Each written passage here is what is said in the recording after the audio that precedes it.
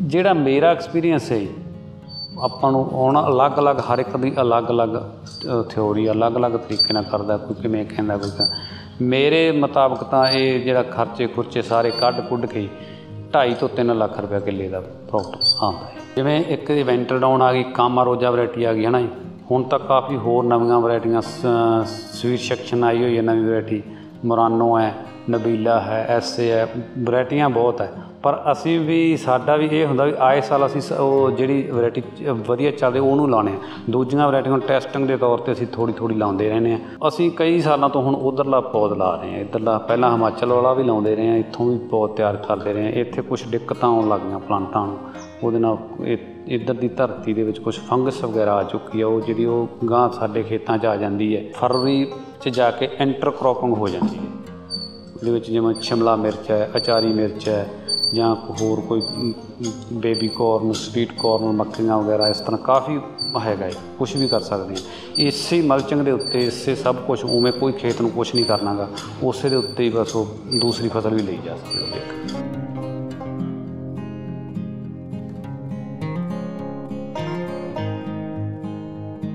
ਬਹੁਤ ਕਿਸਾਨ ਕਰਨਾ ਵੀ ਚਾਹੁੰਦੇ ਆ ਤੇ ਉਹ ਫਿਰ ਫੇਲ ਹੋ ਜਾਂਦੇ ਆ ਨਾ। ਉਹਨੂੰ ਜਦੋਂ ਕੋਈ ਵੀ ਆਪਾਂ, ਇਸ ਤਰ੍ਹਾਂ ਦੀ ਜਦੋਂ ਝੋਨੇ ਕਣਕ ਤੋਂ ਹਟ ਕੇ ਕੋਈ ਖੇਤੀ ਕਰਾਂਗੇ ਉਹਨੂੰ ਪੂਰਾ ਆਪਾਂ ਤਰੀਕੇ ਨਾਲ ਪੂਰਾ ਉਹਦਾ ਉਹਨੂੰ, ਉਹਦੇ ਪ੍ਰੋਸੈਸ ਨਾਲ ਨਹੀਂ ਕਰਾਂਗੇ ਤਾਂ ਆਪਾਂ ਫੇਲ ਹੀ ਹੋਵਾਂਗੇ। ਤੁਸੀਂ ਸਟ੍ਰਾਬੇਰੀ ਦੀ ਗੱਲ ਕਰਦੇ ਆ ਸਟ੍ਰਾਬੇਰੀ ਦੀ ਜਿਵੇਂ ਹੁਣ ਮੇਰੇ ਕੋਲ ਵੀ ਬਹੁਤ ਸਾਰੇ ਕਿਸਾਨ ਆਉਂਦੇ ਆ ਵੀ ਅਸੀਂ ਸਟ੍ਰਾਬੇਰੀ ਲਾਣੀ ਹੈ।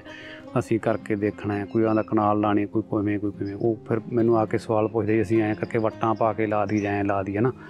ਮੈਂ ਉਹਨਾਂ ਨੂੰ ਸਾਰਿਆਂ ਨੂੰ ਇਹੀ ਗੱਲ ਸਮਝਾਉਣਾ ਹੈ ਵੀ ਜੇ ਤੁਸੀਂ ਇਸ ਤਰ੍ਹਾਂ ਦੀ ਖੇਤੀ ਫਲ ਆਉਣਾ ਚਾਹੁੰਦੇ ਆ ਜੋ ਇਹਦਾ ਪ੍ਰੋਸੈਸ ਹੈ ਪ੍ਰੋਪਰ ਖੇਤ ਨੂੰ ਆਪਾਂ ਡ੍ਰਿਪ ਇਰੀਗੇਸ਼ਨ ਕਰਕੇ ਇਹ ਫਿਰ ਹੀ ਕੀਤਾ ਜਾ ਸਕਦਾ ਹੈ, ਹਨਾ? ਪੂਰਾ ਖੇਤ ਦੀ, ਉਹਦੀ, ਖੇਤ ਦੀ ਤਿਆਰੀ ਦਾ ਬੜਾ ਵੱਡਾ ਇਹਦੇ ਵਿੱਚ ਯੋਗਦਾਨ ਹੁੰਦਾ ਹੈ। ਵੀ ਖੇਤ ਨੂੰ ਪੂਰਾ ਸੁਕਾ ਕੇ ਉਹਨੂੰ ਪੂਰਾ ਕਾਫੀ ਵਾਰੀ ਵਾਹ ਕੇ ਤਿਆਰ ਕੀਤਾ ਜਾਂਦਾ ਫਿਰ ਇਹਦੇ ਵਿੱਚ ਜਿਵੇਂ ਗੋਬਰ ਦੀ ਖਾਦ ਵਗੈਰਾ, ਉਹ ਇਹਨੂੰ ਬਹੁਤ ਜ਼ਰੂਰੀ ਹੁੰਦੀ ਹੈ। ਕਿਉਂ ਫਰੂਟ ਵਾਲੀਆਂ ਜਿੰਨੀਆਂ ਵੀ ਫਸਲਾਂ ਹੁੰਦੀਆਂ ਨੇ, ਉਹਨੂੰ ਬਹੁਤ ਹੀ ਆਰਗੈਨਿਕ ਤੱਤਾਂ ਦੀ ਲੋੜ ਹੁੰਦੀ ਹੈ। ਕੈਮੀਕਲ ਨਾਲ ਆਪਾਂ ਉਹਨੂੰ ਨਹੀਂ ਕਰ ਸਕਦੇ ਜੇ ਆਪਾਂ ਸੋਚਾਂਗੇ ਵੀ ਆਪਾਂ ਕੈਮੀਕਲ ਪਾ ਕੇ ਉਹ ਡੀਏਪੀ ਜਾਂ ਇੰਨੀ ਵੱਧ ਉਹ ਪਾ ਕੇ ਕਰ ਲਾਂਗੇ, ਨਹੀਂ ਹੋ ਸਕੇਗਾ। ਉਹਦੀ ਨਾ ਉਹਦੀ ਤੁਸੀਂ ਕੁਆਲਿਟੀ ਬਣਾ ਪਾਓਗੇ, ਨਾ ਉਹ ਫੂਡ ਨਾਲ ਟੇਸਟੀ ਹੋਏਗਾ, ਹਨਾ? ਇਹਨੂੰ ਪ੍ਰੋਪਰ ਤਿਆਰੀ ਨਾਲ ਜੋ ਜੋ ਬੰਦਾ ਪ੍ਰੋਪਰ ਤਰੀਕੇ ਨਾਲ ਕਰੇਗਾ, ਉਹ ਫੇਲ ਨਹੀਂ ਹੋਏਗਾ। ਹਾਂ, ਇਹਦਾ ਜਿਹੜਾ ਹਾਂ, ਵੈਰਾਈਟੀਆਂ ਦਾ ਵੀ ਹੁੰਦਾ ਵੀ ਆਪਣੇ ਕਿਹੜੀ ਆਪਣੇ ਖੇਤ ਨੂੰ ਕਿਹੜੀ ਵੈਰਾਈਟੀ ਸੂਟ ਕਰਦੀ ਹੈ ਨਾ? ਅ- ਅਲੱਗ-ਅਲੱਗ ਹਰ ਇੱਕ ਜ਼ਮੀਨ ਹੈ, ਜੇ ਸਾਰੇ ਪੰਜਾਬ ਦੀ ਇੱਕ ਤਰ੍ਹਾਂ ਦੀ ਨਹੀਂ ਹੈ ਨਾ ਵੀ ਕਿਸੇ ਸਾਡੇ ਮੁਕਤਸਰ ਡਿਸਟ੍ਰਿਕਟ ਦੀ ਹੋਰ ਤਰ੍ਹਾਂ ਦੀ ਹੈ ਜਾਂ ਬਠਿੰਡਾ ਏਰੀਆ ਹੋਰ ਤਰ੍ਹਾਂ ਹੈ, ਹੁਸ਼ਿਆਰਪੁਰ ਏਰੀਆ ਦੀ ਹੋਰ ਤਰ੍ਹਾਂ ਦੀ ਆਪਣੀ ਕਿਹੜੇ ਏਰੀਆ ਨੂੰ ਕਿਹੜੀ ਵੈਰਾਈਟੀ ਸੂਟ ਕਰਦੀ ਹੈ? ਇਹ ਵੀ ਬਹੁਤ ਵੱਡੀ ਗੱਲ ਹੁੰਦੀ ਹੈ ਨਾ। ਜਿਵੇਂ ਹੁਣ ਅਸੀਂ ਕਾਫੀ ਸਾਲਾਂ ਤੋਂ ਵੈਂਟਰ ਡਾਊਨ ਨਾਮ ਦੀ ਵੈਰਾਈਟੀ ਆ ਰਹੀ ਹੈ, ਅਸੀਂ ਉਹਨੂੰ ਲਾਣੇ ਆ ਨਾ। ਉਹ ਆਪਣੇ ਜਿਹੜੇ ਇਧਰਲੇ ਸਾਡੇ ਏਰੀਆ ਮੁਕਤਸਰ ਡਿਸਟ੍ਰਿਕਟ ਹੈ, ਉਹਨੂੰ ਕਾਫੀ ਵਧੀਆ ਸੂਟ ਕਰ ਰਿਹਾ ਉਹਨੂੰ। ਉਹ ਗਰਮੀ ਵੀ ਚੱਲਦਾ ਹੈ, ਠੰਡ ਵੀ ਚੱਲ ਲੈਂਦਾ ਕਿਉਂ? ਆਪਣਾ ਵੈਦਰ ਹੈ, ਗਰਮ ਵੀ ਜਦੋਂ ਹੁੰਦਾ ਜ਼ਿਆਦਾ ਹੁੰਦਾ ਹੈ ਤੇ ਠੰਡਾ ਹੁੰਦਾ, ਉਦੋਂ ਠੰਡਾ ਵੀ ਬਹੁਤ ਜ਼ਿਆਦਾ ਹੁੰਦਾ ਇਸ ਤਰ੍ਹਾਂ ਪਹਿਲਾਂ ਵੈਰਾਈਟੀ ਨੂੰ ਉਹਨੂੰ ਯੂਜ਼ ਕਰਕੇ ਚੰਗੀ ਸਲਾਹ ਲੈ ਕੇ ਉਹ ਸ਼ੁਰੂ ਕਰੇ ਤਾਂ ਉਹ ਨਹੀਂ ਉਸ ਤਰ੍ਹਾਂ ਦੀ ਪ੍ਰੋਬਲਮ ਨਹੀਂ ਆਏਗੀ। ਜਿਵੇਂ ਇੱਕ ਵੈਂਟਰ ਡਾਊਨ ਆ ਗਈ ਕਾਮਾ ਰੋਜਾ ਵੈਰਾਈਟੀ ਆ ਗਈ ਹੈ ਨਾ ਜੀ। ਹੁਣ ਤੱਕ ਕਾਫੀ ਹੋਰ ਨਵੀਆਂ ਵੈਰਾਈਟੀਆਂ ਸਵੀਟ ਸੈਕਸ਼ਨ ਆਈ ਹੋਈ ਹੈ ਨਵੀਂ ਵੈਰਾਈਟੀ ਮੁਰਾਨੋ ਹੈ ਨਬੀਲਾ ਹੈ ਐਸਏ ਹੈ ਵੈਰਾਈਟੀਆਂ ਬਹੁਤ ਹੈ। ਪਰ ਅਸੀਂ ਵੀ ਸਾਡਾ ਵੀ ਇਹ ਹੁੰਦਾ ਵੀ ਆਏ ਸਾਲ ਅਸੀਂ ਸ- ਉਹ ਜਿਹੜੀ ਵੈਰਾਈਟੀ ਵਧੀਆ ਚੱਲਦੀ ਉਹਨੂੰ ਲਾਉਣੇ ਆ। ਦੂਜੀਆਂ ਵੈਰਾਈਟੀਆਂ ਨੂੰ ਟੈਸਟਿੰਗ ਦੇ ਤੌਰ ਤੇ ਅਸੀਂ ਥੋੜੀ ਥੋੜੀ ਲਾਉਂਦੇ ਰਹਿੰਦੇ ਆ। ਉਹਦੇ ਚੋਂ ਦੇਖ ਆਉ- ਆਉਂਦੇ ਸਾਲਾਂ 'ਚ ਦੇਖਦੇ ਆ। ਜਿਵੇਂ ਕਾਮਾ ਰੋਜਾ ਵੈਰਾਈਟੀ ਆਈ ਉਧਰ ਹੁਸ਼ਿਆਰਪੁਰ ਸਾਈਡ ਉਹ ਬਹੁਤ ਚੱਲਦੀ ਹੈ। ਉਧਰ ਚੰਡੀਗੜ੍ਹ ਸਾਈਡ ਉਹ ਬੜਾ ਲੋਕ ਲਾਉਂਦੇ ਆ ਉਧਰ ਬੜਾ ਉਹਦਾ ਹੈਗਾ। ਪਰ ਸਾਡੇ ਇੱਧਰ ਮੈਂ ਕਈ ਵਾਰੀ ਲਾ ਚੁੱਕਿਆ ਪਰ ਸਾਨੂੰ ਉਹ ਨਹੀਂ ਅਮ, ਵਧੀਆ ਨਹੀਂ ਲੱਗੀ ਹਾਂ। ਹਾਂ ਪੌਦ ਦਾ ਬਹੁਤ ਇਹ 'ਚ ਵੱਡਾ ਯੋਗਦਾਨ ਹੈ। ਅ, ਪੌਦ ਹਿਮਾਚਲ 'ਚ ਵੀ ਪੌਦ ਤਿਆਰ ਹੁੰ- ਹੁੰਦਾ ਇਹਦਾ।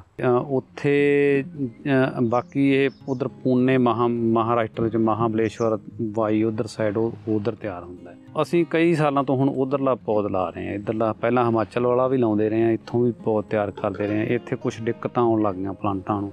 ਉਹਦੇ ਨਾਲ ਇਹ- ਇੱਧਰ ਦੀ ਧਰਤੀ ਦੇ ਵਿੱਚ ਕੁਝ ਫੰਗਸ ਵਗੈਰਾ ਆ ਚੁੱਕੀ ਆ। ਉਹ ਜਿਹੜੀ ਉਹ ਗਾਂ ਸਾਡੇ ਖੇਤਾਂ 'ਚ ਆ ਜਾਂਦੀ ਹੈ ਤੇ ਉਹ ਫਿਰ ਪੌਦਿਆਂ ਨੂੰ ਦਿੱਕਤ ਕਰਦੀ ਉਹ ਪੌਦੇ ਕਾਫੀ ਮਰ ਜਾਂਦੇ ਆ ਉਹਦੇ ਨਾਲ। ਇਸ ਕਰਕੇ ਹੁਣ ਉਹ ਜਿਹੜੇ ਉਧਰੋਂ ਅਸੀਂ ਲਿਆਉਂਦੇ ਆ ਪੌਦਾ ਕੋਸਟਲੀ ਦਾ ਬਹੁਤ ਜ਼ਿਆਦਾ ਪੈਂਦਾ ਸਾਨੂੰ। ਇਸ ਦੇ ਮੁਕਾਬਲੇ ਬਹੁਤ ਜ਼ਿਆਦਾ ਉਹਦਾ ਰੇਟ ਹੁੰਦਾ।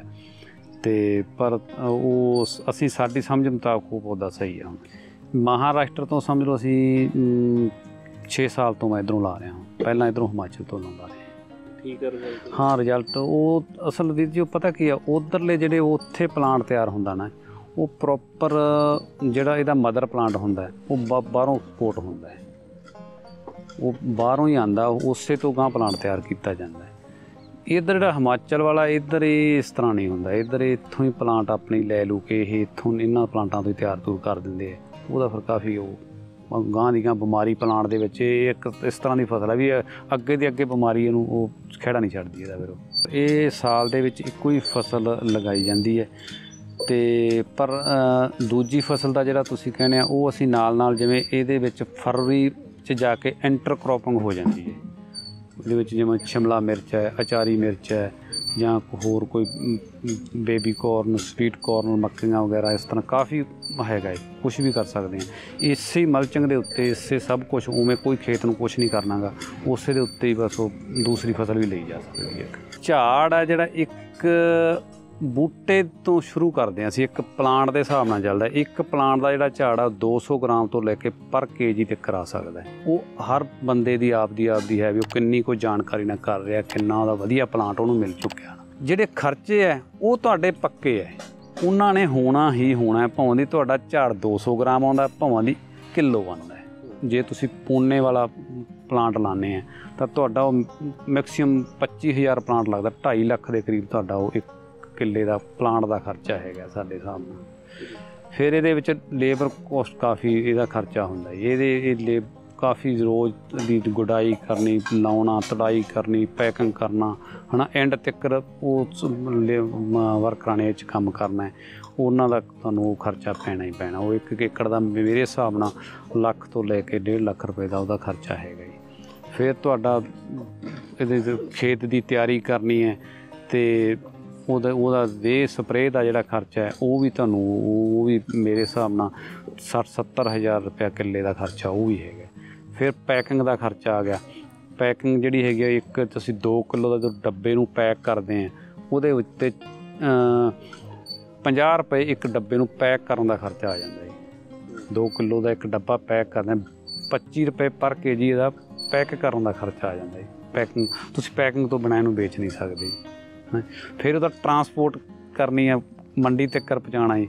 ਇੱਕ ਡੱਬੇ 1 ਕਿਲੋ ਮਗਰ ਤੁਹਾਡਾ 10 ਰੁਪਏ ਦਾ ਖਰਚਾ ਉਹ ਆ ਜਾਣਾ ਜੀ। ਵੀ ਇਸ ਤਰ੍ਹਾਂ ਦਾ ਖਰਚੇ ਬਹੁਤ ਜ਼ਿਆਦਾ ਹੈ ਮੇਰੇ ਮੁਤਾਬਕ 6 ਲੱਖ ਤੋਂ ਉੱਪਰ ਇੱਕ ਏਕੜ ਦਾ ਖਰਚਾ ਚਲਾ ਜਾਂਦਾ ਜਿਹੜਾ ਮੇਰਾ ਐਕਸਪੀਰੀਅੰਸ ਹੈ ਜੀ, ਆਪਾਂ ਨੂੰ ਹੁਣ ਅਲੱਗ-ਅਲੱਗ ਹਰ ਇੱਕ ਦੀ ਅਲੱਗ-ਅਲੱਗ ਥਿਉਰੀ ਅਲੱਗ-ਅਲੱਗ ਤਰੀਕੇ ਨਾਲ ਕਰਦਾ, ਕੋਈ ਕਿਵੇਂ ਕਹਿੰਦਾ, ਕੋਈ ਕਿਵੇਂ। ਮੇਰੇ ਮੁਤਾਬਕ ਤਾਂ ਇਹ ਜਿਹੜਾ ਖਰਚੇ ਖੁਰਚੇ ਸਾਰੇ ਕੱਢ ਕੁੱਢ ਕੇ 2.5 ਤੋਂ 3 ਲੱਖ ਰੁਪਏ ਕਿੱਲੇ ਦਾ ਪ੍ਰੋਫਿਟ ਆਉਂਦਾ ਹੈ ਇੱਕ ਫਸਲ ਦਾ ਜਾਂ ਸਾਲ ਦਾ? ਇੱਕ ਫਸਲ ਇੱਕ ਸਾਲ ਦਾ ਇੱਕ ਜਿਹੜੀ। ਫਸਲ ਦੀ ਜਿਹੜੀ ਇੱਕ ਇਹ ਸਾਰੀ ਫਸਲ ਹੁੰਦੀ ਹੈ ਇੱਕ ਫਸਲ ਜਿਹੜੀ ਸਟ੍ਰਾਬੇਰੀ ਦੀ ਫਸਲ ਦੀ ਜਿਹੜੀ ਮੈਂ ਗੱਲ ਕਰ ਰਿਹਾ ਜੇ ਕੋਈ ਹੋਰ ਦੂਸਰੀ ਫਸਲ ਆਪਾਂ ਵਿੱਚ ਲਗਾਉਂਦੇ ਆ ਤਾਂ ਉਹਦਾ ਚਲੋ ਤੁਹਾਨੂੰ ਕੋਈ ਬੈਨੀਫਿਟ ਮਿਲ ਜਾਂਦਾ ਤਾਂ ਉਹ ਵੱਖਰੀ ਗੱਲ ਹੈ ਉਹ ਮਤਲਬ ਕਿੰਨਾ ਪ੍ਰੋਪਰ ਫਸਲ ਹੋ ਜਾਂਦੀ ਹੈ ਜਿਹੜੀ ਆਪਾਂ ਵਿੱਚ ਲਾਉਂਦੇ ਹਾਂ? ਹਾਂ ਹੋ ਸਕਦੀ ਆ ਉਹਦਾ ਇਸ ਤਰ੍ਹਾਂ ਉਹਦਾ ਉਹਦਾ ਵੀ ਇੱਕ ਸੱਟੇ ਵਾਲੀ ਗੱਲ ਹੁੰਦੀ ਹੈ ਨਾ ਜੇ ਅਸੀਂ ਲਾ ਦਿੰਨੇ ਆ ਉਹਦੇ ਵਿੱਚ ਕਈ ਵਾਰੀ ਹੁਣ ਸ਼- ਅਸੀਂ ਕਈ ਸਾਲਾਂ ਤੋਂ ਸ਼ਿਮਲਾ ਮਿਰਚ ਚਾਰੀ ਮਿਰਚ ਲਾ ਰਹੇ ਆ ਪਰ ਉਹ ਕਈ ਸਾਲਾਂ ਤੋਂ ਉਹਦੇ ਰੇਟ ਨਹੀਂ ਆਉਂਦੇ ਸ਼ਿਮਲਾ ਮਿਰਚ ਇੰਨਾ ਹੋ ਜਾਂਦਾ ਹੈ। ਅੱਜ ਤੁਸੀਂ ਸ਼ਿਮਲਾ ਮਿਰਚ ਖਰੀਦੋਗੇ ਜਾ ਕੇ ਮੰਡੀ ਦੇ ਵਿੱਚ 70 80 ਰੁਪਏ ਕਿਲੋ ਮਿਲੇਗੀ ਜਦੋਂ ਅਸੀਂ ਵੇਚਣੀ ਆ ਤਾਂ 2 ਰੁਪਏ ਕਿਲੋ ਤੇ 2 ਤੇ 70 80 ਕਿ- ਕਿੰਨਾ ਇੱਕ ਡਿਫਰੈਂਟ ਚਲਾ ਗਿਆ ਨਾ ਹੂੰ। ਤੇ ਇਹ ਰੇਟ ਆਣ ਤੇ ਆ, ਕਈ ਵਾਰੀ ਜੇ ਫਸਲ ਦਾ ਰੇਟ ਆ ਜੇ ਤਾਂ ਉਹ ਤੁਹਾਨੂੰ ਉਹ ਫਸਲ 50 60000 ਰੁਪਏ ਕਿੱਲਾ ਛੱਡ ਸਕਦਾ ਮਤਲਬ ਜੇ ਰੇਟ ਸਹੀ ਮਿਲ ਜਾਣ ਸਾਰੀਆਂ ਕੰਡੀਸ਼ਨਾਂ ਠੀਕ ਰਹਿਣ ਤਾਂ ਮਤਲਬ 50000 ਕਿੱਲੇ ਦਾ ਹਾਂ ਉਹ ਐਡ ਹੋ ਸਕਦਾ ਉਹਦੇ ਤੇ ਉਹਦੇ ਤੇ ਇੱਕ ਇਹ ਹੀ ਹੁੰਦਾ ਵੀ ਉੱਤੇ ਸਾਡਾ ਕੋਈ ਖਰਚਾ ਅਲੱਗ ਨਹੀਂ ਹੁੰਦਾਗਾ ਕਿਉਂ ਜੋ ਖਰਚਾ ਇਹਦੇ ਤੇ ਹੋਣਾ ਹੈ, ਉਹੀ ਉਹਦੇ ਤੇ ਹੋਣਾ ਹੈ। ਇਹਦੇ ਤੇ ਅਸੀਂ ਕਰਨਾ ਹੀ ਕਰਨਾ ਹੈ। ਉਸੇ ਅਸੀਂ ਉਹ ਖਰਚੇ ਦੇ ਵਿੱਚ ਹੀ ਉਹ ਫਸਲ ਹੋਣੀ ਹੈ ਜੇ ਉਹ ਮਿਲ ਜੇ ਤਾਂ ਉਹ ਬੜਾ ਅੱਛਾ ਬੋਨਸ ਮਿਲ ਸਕਦਾ ਹੈ ਤੁਹਾਨੂੰ